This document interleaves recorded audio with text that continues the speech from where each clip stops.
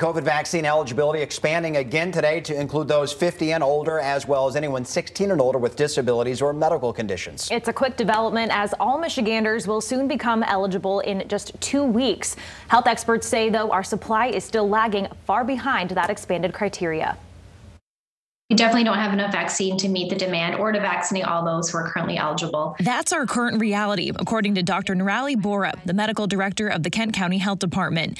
And it's the same in Ottawa County as more Michiganders become eligible for the COVID vaccine. It's good news, but for us, it's been um, tempered a little bit because we don't have enough vaccine to broaden into the age groups that are eligible today. Both counties say they're still working through previous eligibility groups, but are thrilled about their vaccination rates for those most at risk. I'm really excited about our 65 and older population as we're it's close to 70% of that population has already been vaccinated. We have 70% who've gotten at least one dose and 43% who are completely vaccinated. So, all health systems are asking for patience, especially as all Michiganders become eligible on April 5th. But don't expect to snag an appointment on that exact date. I don't think that's quite realistic at this point. Vaccine scarcity is still an issue. And so, while everyone would be eligible, there still is not going to be enough vaccine to get to all those people who truly want it and who truly need it. The good news supply is supposed to be ramping up.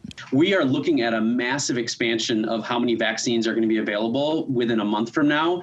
And we're looking at vaccinating, you know, thousands and thousands of people every day in Kent County alone. With that in mind, Dr. Andrew Jameson, the division chief of infectious disease at Mercy Health, says we can start to see some more normalcy this summer. Even if nothing else changed, summer is going to be better this year. And then when you add in the vaccinations, it's really going to be solid. So I'm I'm very optimistic that we're getting to, you know, June and July. It's going to feel different than we are right now. But he says that all hinges on what we do for the next month. Keep up the diligence with masking. Don't get together with other people inside houses. Keep socially distanced the best you can. Don't let your guard down. In the meantime, experts recommend signing up wherever you can and taking the first available appointment stay encouraged and um, keep that enthusiasm because we really want people to get vaccinated. All right, so if you need to register for your vaccine, you can visit vaccinatewestmi.com, and that is where you can register for the clinic at DeVos Place. But that's where you'll also find under the resources tab links to register at area health departments and any participating pharmacy. So it's a really great resource.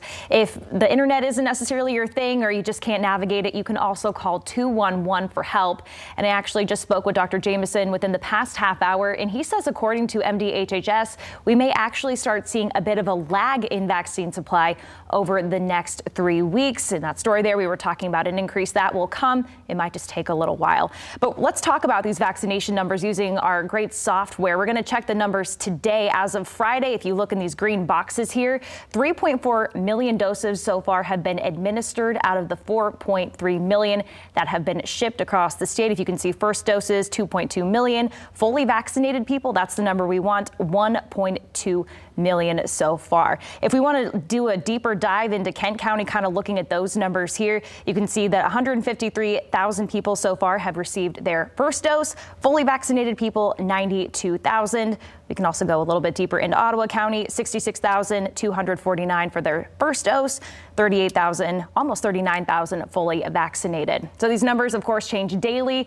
and it's really neat to track how they're growing. It's really fun. We love this software. If you would like to click around this exact same map, you can look at vaccinations, you can look at cases, you can also look at deaths. We do have the same interactive map for you on our website. Just go ahead and visit fox17online.com. Derek?